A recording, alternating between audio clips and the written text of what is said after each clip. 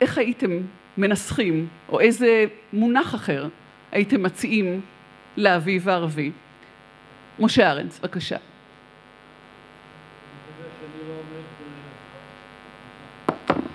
אני מקווה שאני לא עומד לשבש את אה, סדר הדיון פה. אני לא אתן לך, אל תדאג.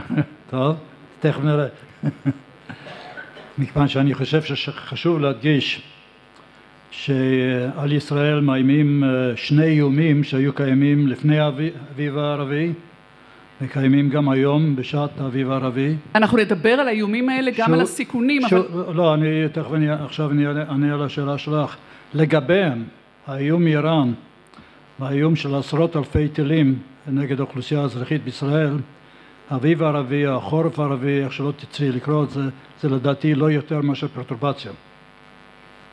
to them? Professor Cordisman.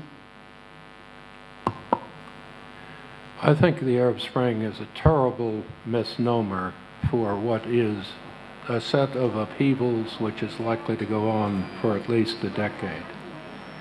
If you look at the Arab Development Report on the UNDP site, you see just how serious the demographic, the economic, the governance, the corruption problems are you see states that have no real political experience with democracy, no political parties, no real experience among opposition movements with governance that face critical issues. I think what that means for Israel is instability, unpredictability on its borders for at least 10 years. And for the United States and its impact on Israel's security, remember that our fundamental concerns deal with energy in the Gulf and access to the Gulf, and not simply protecting Israel. So the Arab Spring is a strategic misnomer, it's a historical misnomer, and it horribly understates the forces at work. Thank you. פרופסור דרור, האם אביב ערבי? הייתי מאפיין את האביב הערבי כלהלן. אחד, יש פה משום העצמת הרחוב הערבי. דבר שקודם לכן לא בלט לעין. גם אם העצמה זו עולה ויורדת, היא הופכת לעובדה שכל שלטון עתידי יצטרך להביא בחשבון. שניים, העצמת רחוב בשלב זה של התפתחות חברתית כרוך בדרך כלל בהגברת, איך אומר זאת, אמוציות כמשפיעות על המדיניות. דהיינו מה שנקרא לטוב ולרעה פרגמטיזם נחלש ויש לזה כבר השלכות ביחס לישראל. שלוש, מדובר על תקופה ניכרת של משברי מעבר שיהיו מלווים באי יציבות סטרוקטורלית בלתי נמנעת. ארבע, ניתנת בכך מכה נוספת לדעה הנפוצה בחלק מן המערב על סוף ההיסטוריה בעתיד נראה לעין, שעתיד הדמוקרטיה לפי דגם ערבי צ'יק צ'אק תשתלט גם במזרח התיכון. תודה רבה. אביב זה לא אתה אומר. דן חלוץ. קודם כל אני הבנתי מתוך מה ששמעתי שטרמינולוגיה היא פועל יוצא מאידיאולוגיה. אה, אני חושב שאביב מבטא ציפייה, מבטא פריחה, מבטא לבלוב. אני הייתי קורא למה שאנחנו רואים נגד עינינו השינוי הערבי. אה, שינוי יכול להיות לטוב, שינוי יכול להיות לרע. אביב מבשר תמיד שינוי לטובה. ואני לא חושב שאנחנו בהכרח נראה אביב, אבל אני גם לא פוסל את האפשרות שנראה אביב. השאלה אם יש לנו מספיק סבלנות ולהם יש מספיק אנרגיה. תודה על אנרגיה, תכף נדבר ולפרופסור קורדסמן בוודאי יהיה מה להגיד בנושאים של אנרגיה. יוסי קופר וסרי. אני חושב שמוקדם מדי לקבוע אם זה אביב או לא אביב, במובן הזה אני מסכים עם דן, אבל אני חושב שבראש ובראשונה מהותו של האירוע הזה שמתרחש מול עינינו תלויה כמו שנאמר פה בעינו של המתבונן ואני חושב שבשביל רבים מהערבים מה שקורה פה זה האביב הערבי כי ניתנת להם ההזדמנות להפוך מאזרחים חסרי יכולת להשפיע למי שיש לו חלק בקביעת גורלו מבחינתם זה אביב זה דבר חשוב, צריך להבין את זה. אנחנו לא יכולים להיות פטרונים ולקבוע עבורם איך יקראו לעצמם, איך, איך הם יקראו לאירוע הזה. יש הרבה, הרבה ערבים שלא רואים את זה כך, אבל יש הרבה ערבים שעבורם זה האביב. מבחינה של מתבונן אה, שמנתח את האירוע הזה בזווית של אה, היסטוריון, אני חושב, שלא מכניס לזה את האמוציות שלו, לא מעורב רגשית בעניין, אני חושב שמה שאנחנו רואים זה התפרצות געשית בתוך המערכת הערבית.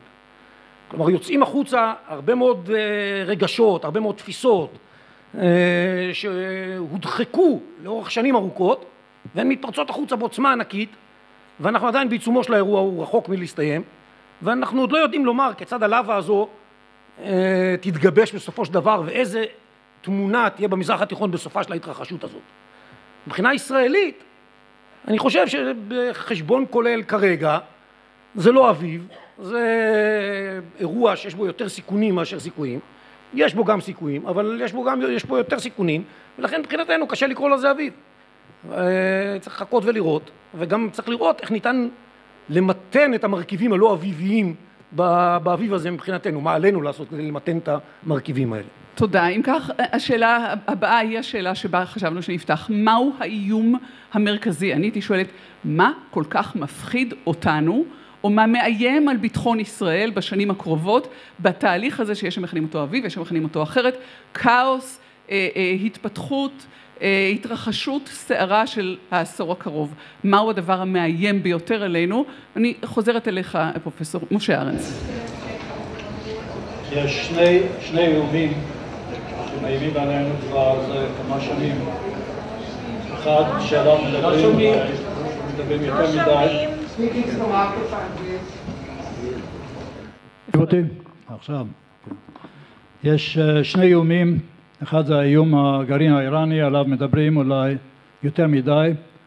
יחד עם זה יש קונצנזוס אצלנו וגם בעולם שזה יוצר מצב שהוא בלתי נסבל ולכן צריך לקדם אותו קודם על ידי פעילות דיפלומטית תוך ניסיון לעצור אותו. אם לא אז יצטרכו להשתמש בפעולה צבאית. יש איום שני שעליו מדברים פחות, פחות מדי קיבלנו תזכורת רק בימים האחרונים, עשרות אלפי טילים בידי החיזבאללה, בעיקר גם בידי החמאס והג'יהאד האסלאמי, מכוונים אל אזרחי המדינה מדן ועד אילת, מצב שגם הוא לדעתי מצב בלתי נסבל, שגם בו צריך לדעתי לטפל קודם כל באמצעים דיפלומטיים, תוך ניסיון לסלק את האיום הזה ואם זה לא יצליח באמצעים צבאיים מכיוון שמדינה וכל אזרחיה לא יכולים לחיות תחת איום כזה. עכשיו אנחנו נוטים לחשוב שהאיום של הגרעין הוא הרבה יותר רציני מהאיום של הטילים האלה שלהם ראשי קרב קונבנציונליים אבל צריך לזכור שהאיום של גרעין הוא גדול באמת, קטסטרופלי, ההסתברות שגרעין יופעל נגדנו היא קטנה, יחסית קטנה, לא רוצה לזלזל באיום הזה. האיום של הטילים קטן בסדרי גודל, ההסתברות שהם יופעלו נגדנו יחסית גבוהה, הם פעלו רק לפני כמה ימים, וההסתברות שיפעילו אותם במלוא כוחם היא יחסית גבוהה, ולכן אם אנחנו מסתכלים כאינדקס של איום גודל הנזק כפול ההסתברות שהנזק הזה אמנם יגיע אלינו אנחנו מדברים על הטילים, עשרות אלפי הטילים, באיום מאוד ממשי שהוא בלתי נסבל, שאי אפשר להשלים איתו. תודה. האם פרופסור קורדיסמן, האיום הטילי או האיום האיראני הוא פועל יוצא של התהליך שאתה רואה בעולם הערבי, הוא המכונה האביב הערבי?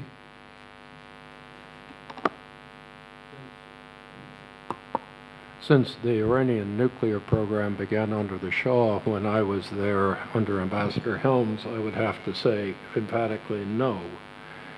Iran has been building up a combination of Iranian of nuclear forces, missile forces, and asymmetric forces ever since the end of the Iran-Iraq War and its failure to modernize its conventional forces. it has certainly accelerated. It has certainly reached a far more critical problem than in the past. But I would have to add to what Mr. Aaron said, and I'd have to agree with him completely. I think there is a third threat that we need to take into consideration, and that is something Dennis Ross and others warned about. It is as these political upheavals occur, as regimes come and go without stable democracies or governments, Israel becomes the lightning rod. The lightning rod for extremist movements, for governments that wish to export their problems and basically use Israel or the United States or the West as their target, as their rationale for their own failures. And the ability to avoid having that become a major additional threat from the outside, whether it is from Jordan, from Iraq, from other powers, is something that Israel needs to take into very careful consideration.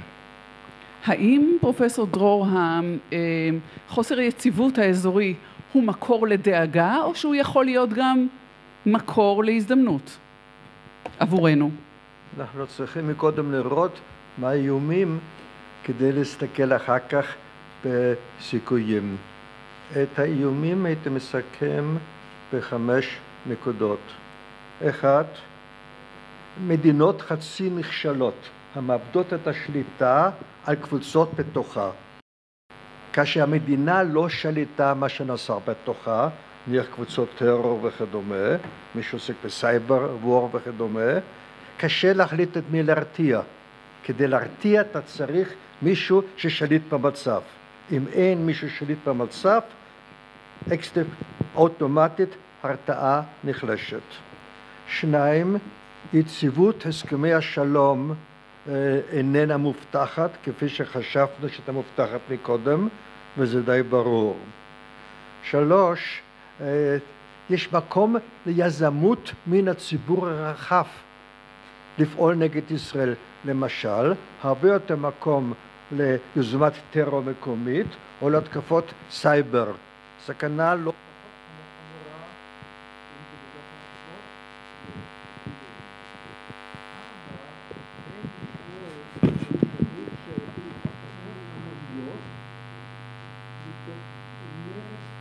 מהפכני, דבר שמוכר לנו כמובן בקנה מידה אחר מהמהפכה הצרפתית, אבל מרץ המוני הנבטא נניח בהתקפה לא אלימה או חצי אלימה של המונים הפורצים לגבול, יכול לעורר בעיות שאין לנו בהם ניסיון. מכאן כאמור ההכרח הוא כאשר משתנים האיומים, הכרחי לחשוב על שדה נגד חדשניים. ישראל חייבת בחדשנות רדיקלית בחלקה. היא לא יכולה לשבת ולחכות, כי אנחנו לא יודעים מה יתפתח. אנחנו צריכים להיערך על ידי יוזמות שונות, לאפשרויות שונות, כפי שבטח עוד יגיע לדיון. ואני אשאל אותך בהמשך, האם ישראל, הממשל הישראלי, יש לו תרבות של גיבוש אסטרטגיה או תפיסה או חשיבה ארוכת טווח, עוד נגיע לזה. תודה. דני חלוץ.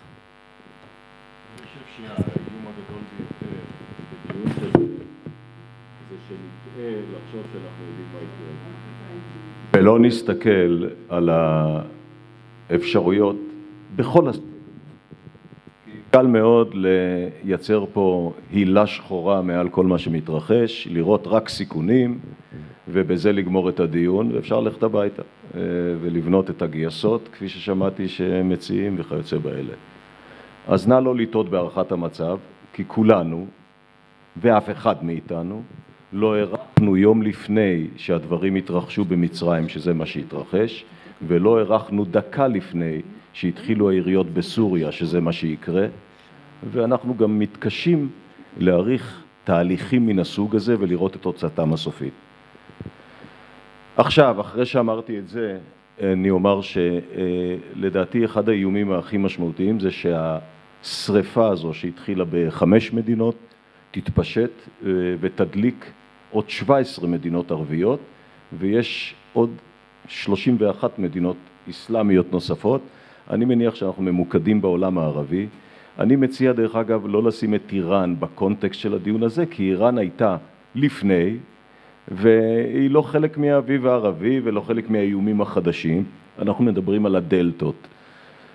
ובתוך הדלתות האלה, אני לא שותף להערכה הרואה רק שחור. אני לא רואה ורוד, אבל לא רק שחור. אינני חושב שנשיא מצרי יהיה הנשיא אשר יהיה, והרי הבחירות שם לא מוכרעות רק בקלפי, הן מוכרעות גם כנראה במועצה העליונה הצבאית ובעוד כמה מקומות. התוצאה שם עוד לא נגמרה ובוודאי לא חלוטה. הנשיא המצרי, הדבר הראשון שהוא יעשה בבוקר זה לדאוג להכיל 85 מיליון מצרים לפני שהוא יחצה את התעלה. ואני יודע שיש כאלה שאומרים שהדבר שיעזור לו הכי הרבה להכיל את המצרים זה לתקוף את ישראל.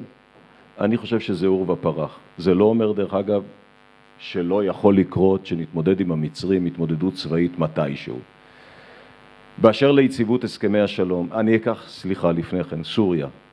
סוריה, שינוי בסוריה יכול במקרים מסוימים דווקא להחליש את הציר האיראני ולא לחזק אותו. תלוי באיזו התפתחות תהיה בסוריה. אפשר לראות את סוריה כשבויה נצחית של איראן, אינני חושב שזה המצב. אפשר לראות את סוריה גם כמתבדלת מאיראן בהתפתחויות מסוימות שאף אחד לא יודע להעריך אותן כרגע. איננו יודעים אה, מי יהיה השליט שם. הדבר האחרון, ואני רוצה פה להעיר הערה למכובדי שר הביטחון לשעבר, אה, משה ארנסט. אם הבנתי את מה שהוא אמר, אז הוא קרא, אחרי שייכשלו הניסיונות הדיפלומטיים לטפל באיום הטילים, הרקטות על ישראל, לעשות מהלך צבאי.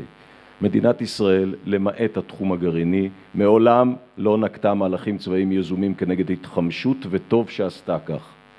אה, נא לחמש גם את עצמנו כמו שצריך, ואני מציע, לא בגלל רקטות קסאם, אה, ליזום אחרת, לא בצפון וגם לא בדרום. יש דרכים אחרות, לא פחות יעילות, רק צריך לקבל עליהן החלטות. תודה רבה. יוסי קופווסר, האיום המרכזי שמטיל צל עלינו עכשיו בעת התהליך הזה. יש הרבה איומים, אבל אה, רובם נגעו פה. אני חושב שהבעיה המרכזית, או האתגר המרכזי שההתפתחויות האלה יוצרות, זה שהן מתווספות על הבעיות שהיו קודם לכן שצוינו פה, וכתוצאה מכך מדינת ישראל, שהאמצעים שלה מוגבלים, לא הייתי אומר דלים, אבל מוגבלים, נאלצת להוסיף שורת האיומים שאיתם היא צריכה להתמודד, איומים נוספים בתקציבים מוגבלים, ומה שקורה זה שאתה, יש לך קושי גובר והולך לתת אה, מענה איכותי לכל אחד מהאיומים. למזלנו ארה"ב נכון לעכשיו מצ... אה, מתייצבת לימיננו בהתמודדות עם הבעיה הזאת, אבל בהחלט זו בעיה מאוד מאוד קשה. אה, כי לא נעלם אף אחד מהאיומים האלה, לא איום הרקטות ולא איום האיראני ולא האיום הצבאי של מסוריה, אף אחד מהאיומים האלה לא נעלם. ולכן אה, נוספים בעיות, נוספות בעיות נוספות. עכשיו אני, על הבעיות האלה אני רוצה להגיד כמה מילים מעבר למה שכבר נאמר פה, אני לא רוצה לחזור. אני חושב שאחת הבעיות שלנו היא שהתחזקות של תפיסות עוינות שמושתתות על אה, עומק אה, פוליטי אסלאמי בסביבה הזאת, בסביבה שלנו, היא בעיה מפני שזה מכשול משמעותי בדרך לקדם הסדרים מדיניים ולקיים את ההסדרים המדיניים, הסדרי השלום שקיימים בינינו לבין סביבתנו. ואני לא חושב, אני מסכים עם דן שאף אחד לא, לא ינטוש כנראה, לא ייטוש את, את ההסכמים, אבל הטמפרטורות אה, שבלאו הכי היו נמוכות ממשיכות להתקרר וזה בעיה. שתיים, יש לנו בעיה של התפוררות המדינות, נגע בזה אה, אה, יחזקאל בעניין הזה של התפוררות המדינות, שזה גם קושי בהרתעה, אבל זה גם יוצר מציאות שסביב גבולותינו, כמעט בכל מקום, יש מציאות שאין שליטון מרכזי ואנחנו רואים את התופעה שמתרחשת מולנו בימים האחרונים בסיני. נוסף לנו גבול פעיל. זה, זה הרבה משאבים כדי להתמודד עם זה, וזה קושי עצום למצוא פתרון במגבלות השלום הווסטפלי לכאורה המתקיים פה. וה... וזה צרה צרורה. דבר נוסף שזה גורם, נוצרת פה הזדמנות לגורמים קיצוניים לפעול לאורך גבולותינו. הגורם שביצע את הפיגוע בסיני, מסיני לשטחנו, זה גורם ששייך לאל-קאעידה. פעם ראשונה שהם עושים פיגוע מהסוג הזה ב... לתוך גבולנו. זו תופעה חדשה שהיא תוצאה של, ה... של האירועים האלה. ודבר אחרון, יש עוד הרבה דברים, אבל דבר אחרון שאני רוצה לציין בהקשר הזה, זה שגם אם אמרנו שארצות הברית והמערכת היחסים שלנו עם ארצות הברית היא מרכיב מרכזי כל כך בביטחון, של, בביטחון הלאומי שלנו, אז האירועים האחרונים גם חושפים את מגבלות הכוח האמריקני ואת, אה, וגם אה, חילוקי דעות מסוימים בגישות בין ישראל לבין ארה"ב מול המתרחש. וזה גם כן איום נוסף, בעיה נוספת שמתווספת על כל שלל הבעיות האחרות שדיברנו עליהן קודם לכן